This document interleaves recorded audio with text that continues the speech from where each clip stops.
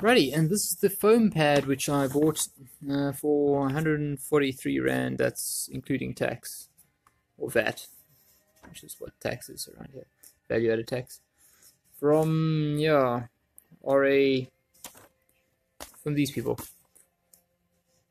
Racketex, I suppose, in uh, what looks like Epping. Anyway, um, yeah, basically need 168 mils. I'm going to make it slightly wider because it's that's the width of the box in this case. And yeah, because I need quite a few layers, then I'm just going to cut a strip down the edge of this foam pad. It's it's plenty big enough. I mean, it's 1.4 meters by 1.8 meters, so it's like a six six foot that way, and I don't know what, a bit less this way. Anyway, let's get cutting. Uh, remember these scissors? Apparently, they do actually cut. But before we cut, let's make some marks with uh, a little bit of chalk. See if that works for us. Right. Hmm. Wonder how you're supposed to mark this stuff. I mean, I, I could press harder, but then I'm going to break it, so... Hmm. Okay, um... Let's try it some other way. There's a very faint mark there. Sort of works. To set ourselves some markers to go for.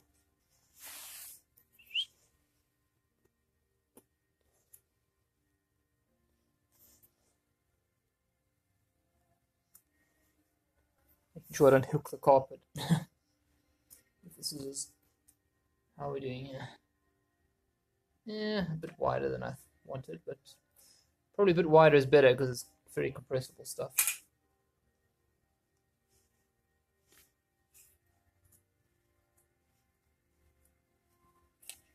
We're doing that.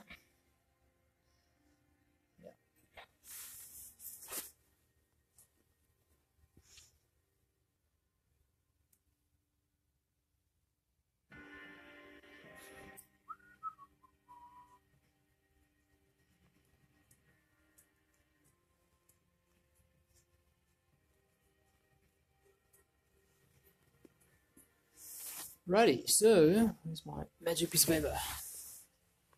So one of these only needs to be 80 and the other one needs to be the balance of what's approximately 352 minus 16 minus 80.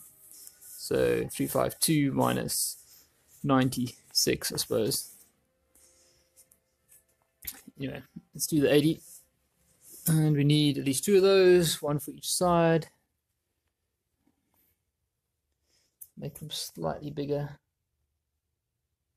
go with, I don't know, 85 and see how that works.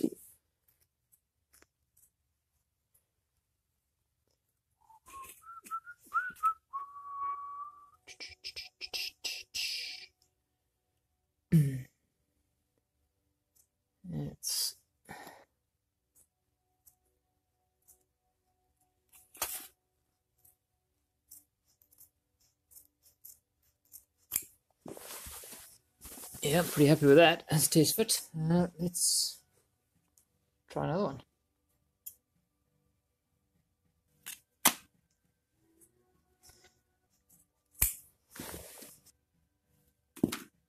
So we need um, basically two layers, but times two speakers, so four of these. Uh, I haven't lost my mind, don't worry. Not yet, at least. Not today. Go, even easier way to do this.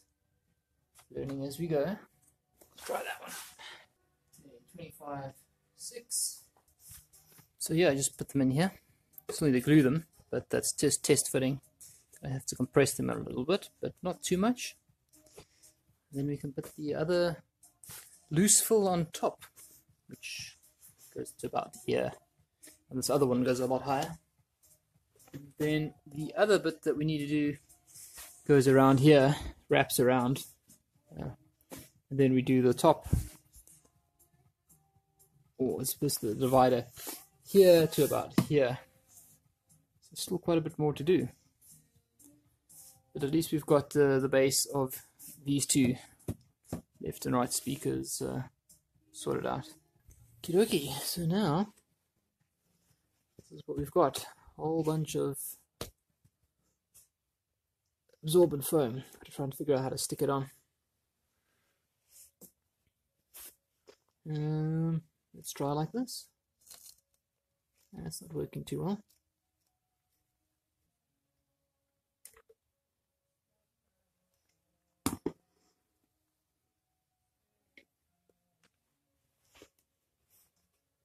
Okay, not the end of the gold.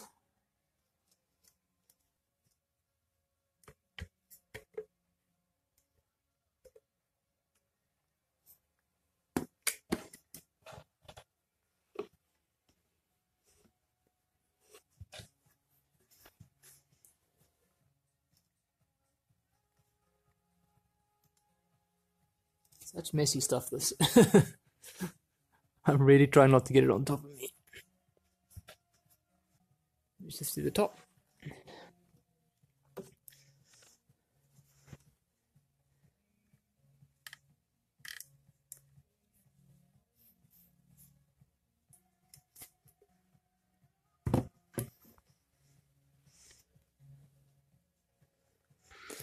Only problem's gonna be a bit hard. I've got a couple of holes here for the, you know, the wires for the driver to come through.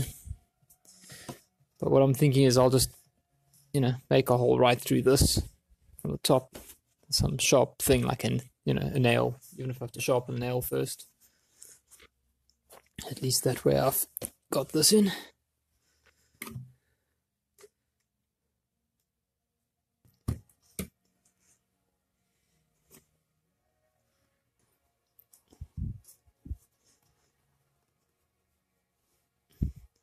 Well, this glue certainly has got a very high like tack factor, I think it's called. You know, it's very tacky. Um, I don't like the smell. smells quite strong.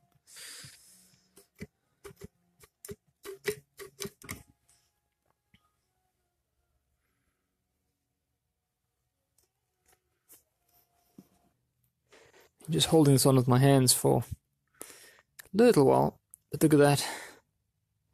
Pretty good already. Hey, a couple of clamps to rescue.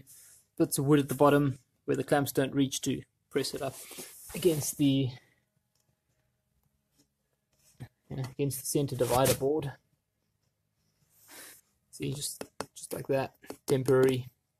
Same on the other side here is actually another piece of wood, just propped up with a bit of foam behind it, just to give a bit of a bit of compression. Nothing drastic. So the speakers are starting to come together quite rapidly now. So one of the things I need to do is put in this full over here. See, I've written on 30 to 40 millimeters, but you know, below the port, and here it's 80 mils below. Well, I suppose the the hole for the driver. I'm trying to think of the right words, but you know, you translate the German into English so that I can read it, and I'm like, eh, yeah, like that's a TT. Don't ask me why that's a TT, for example. But cool. Um, so I'm going to be using some basically fiberglass uh, because for some reason it does not irritate my fingers or you know, skin. So I worked out that this needs to be about 11 to 12 centimeters from here to, well, to 30 to 40 mils below this one. So this is about 25 centimeters here, so let's get some pieces. So this is what I'm going to be using, and yeah, that one, hmm, it's a bit long. So let's just cut it. 25 is up to about there. We can cut that bit off there. Strikes me as good. Cut the other side off instead. Cool, I'm just going to make a mark. It's about there. Like this stuff, you can just mark with your finger. And I'm just going to use a normal handsaw, which is actually a wood saw.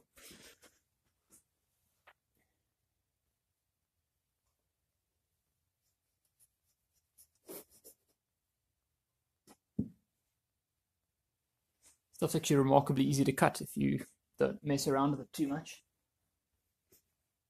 Okay, so um, see, it's not going to take another whole layer. So what I might do is have to um, stuff it. So I'll, I'll move this one up a bit to about there, I think. And the thinking there is it'll keep the looser, smaller bits in place because that's now wedged in between that and that, and you know it's not going to break apart. Just double check that we've got the spacing right. And yeah, that's pretty much between three and four, so I'm happy with that. It's basically just like, I don't know, a quarter of a layer. I'm concerned that the speakers over the years might be, you know, put on their sides and lifted up and put down again and things like that, and we'll end up with a situation where the soft sound absorbent matting, which is what this is supposed to be, is not where it needs to be. So let's just uh, stick with plan A, I think.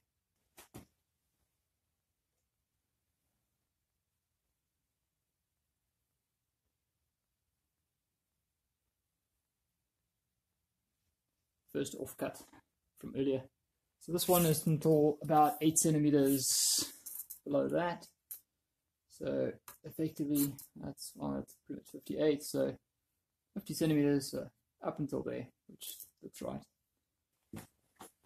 You just cut it a bit, uh, cut the end off.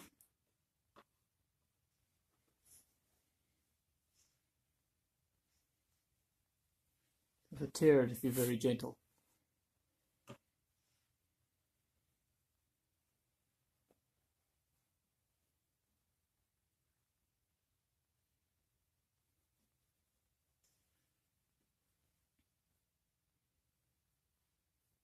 Not ask where the feathers came from.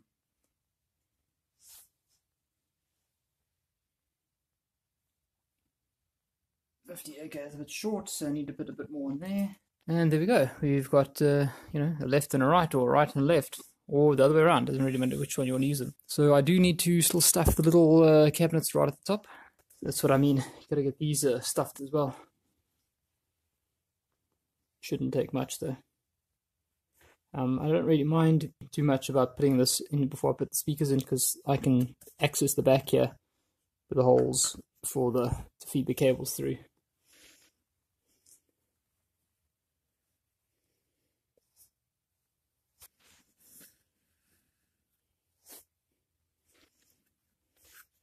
Just get the hand in and out. Good enough for now. Let me do the other one. Okay, so that's the stuffing in, uh, or the damping material. Some people say dampening, but I think it's damping is the correct English. The little tweeter box at the top are now both stuffed as well. A little bit nerve-wracking now because I need to put the final cover on this, and uh, yeah, it gets glued on, so it gets a lot harder to get in here and tweak anything if I've got it wrong. So uh, hopefully it's all right.